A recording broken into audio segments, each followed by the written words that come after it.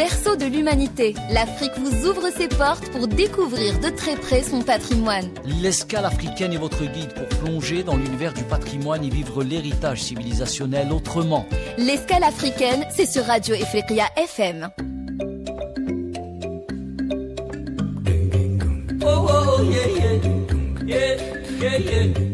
aw ni ɲɔgɔn kuma i firikiya efɛn kanubagaw ani a lamɛnbagaw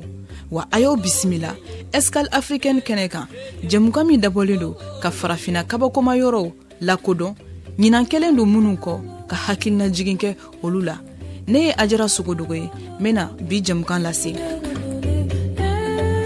bi tagama kɔnɔna la an b'an kunda burkina faso kan kɛrɛnkɛrɛnnenya la u ka duguba filanan aw b'o dɔn wa ne lamɛnbagaw aw kɔni t'a fɔ ne ɲɛna k'aw ma deli ka bobo julasu tɔgɔ mɛn nga o tɛ baasi ye n bena n da don a dabaliban yɔrɔw la ka fɛsɛfɛsɛli kɛ aw ye an ka taga nin y'an dontɔ ye bobo kɔnɔ an be fɔlɔ u ka dagabana misiri in na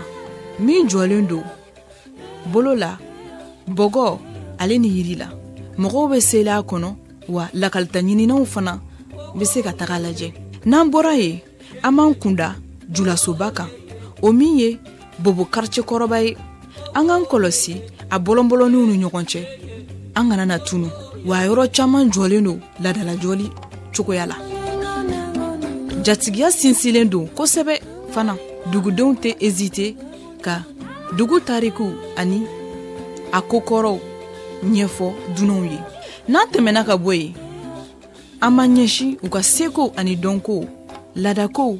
kɛnɛ kan n'o ye u ka mise kominal sogo sira sanu ye nin yɔrɔ in dabɔlen don siya o siya bɛ burukina k'olu lakodɔn o de kama u bolonɔ bɛ nin yɔrɔ in bɛɛ la ubiyɛn kunnafoni bɛ di visitɛriw ma ni siya ninnu kan i n'a fɔ bobow lɛjulaw ale ni bobow nin wagatinin na an b'an boli biribiribiri ka ɲɛsin yɔrɔ dɔ ma min jɔyɔrɔ ka bon kosɛbɛ bobo yiriwali ani burkina sɔrɔko la o de y'u ka suguba ye nin sugu in kɔnɔna la foyi de tɛ k'i nɛgɛlɛ samaraw finiw soparilanw artizana minɛnw o n'a ɲɔgɔnna caman san o san farafinna ni a kɔkan dugu mɔgɔw bayirika de bɛ suru dugu in na n'aw kɛra tɛmɛfɛn ye bobo aw kana tamakiya ka taga aw ka somɔgɔ samaw san yen nɔ pasiki a b'a kun bɔ an b'an yɔrɔma janya bobo la ni kilo bi wɔɔrɔ bɔɲɔgɔn ye an b'an kunda bala kan nin dugu in de falen don banbaw la ani maliw n'a ka di ye i be se k'i jɔ yɔrɔ jan fɛ k'u lajɛ n'o yɛrɛ man di ye korontigiw be yen nɔ i be se ka minnu lu ye u k'i la tɛmɛ ji kan o tɛmɛlen kɔfɛ an be kilomɛtiri bi segin don ani bobo cɛ tuguni nka nin zen in na an b'an kunda le cascade de karifingela kan aw minnu be yen k'aw be fɛ ka aw yɔrɔma janya ka bɔ duguba mankanw la aw y'o ɲɛsin kasikadi in ma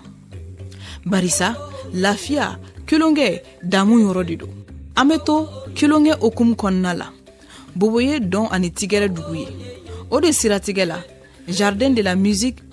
rindungo bɛ yen nin yɔrɔ in de la i bɛ seko ani dɔnko tigilamɔgɔ caman sɔrɔ yen nɔ misigiko ta fanfɛla fɛ ani dɔnko ta fanfɛla fɛ wa e yɛrɛ bɛ se k'i yɛrɛ la ɲagari kosɛbɛ n'i ye farafinna ta k'a lajɛ bobo ye duguba kelen pe dɔrɔn de a tɔw cɛ la ka sababu kɛ farafinna falen don nin n'a ɲɔgɔnna yɔrɔ ɲuman caman de la ne lamɛnbaga an ka kurun sera cɛncɛn ma j'espère k'i ye faamuyali caman sɔrɔ an ka bi escale africaine na n b'a f'i ɲɛna ko k'an bɛn escale wɛrɛ kɛnɛ kan yan'o cɛ i sɔgɔlen to ifrikiya fm na